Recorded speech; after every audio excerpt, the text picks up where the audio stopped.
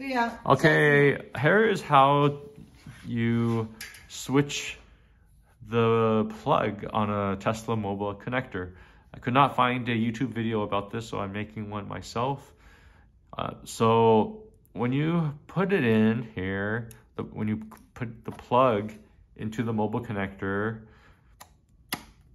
it'll go on pretty easily, but it's kind of confusing when if you want to take it out it's not easy to take out.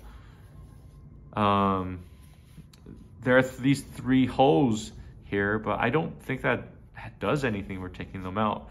So how how I have taken it out is just to yank and have to like give it a good strong yank, uh, a good strong pull to take it out. So, for example, um, I just give it the um, one, two. As you can see, it's not that easy.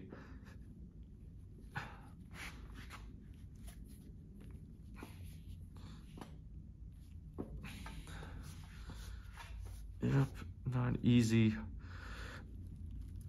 Ah, but it does come out. So, yeah.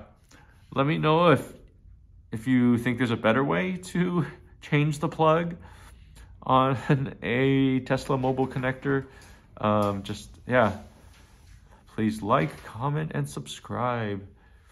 And uh, that's that's it for this video. You can see it's not easy to take out the plug from a Tesla mobile connector.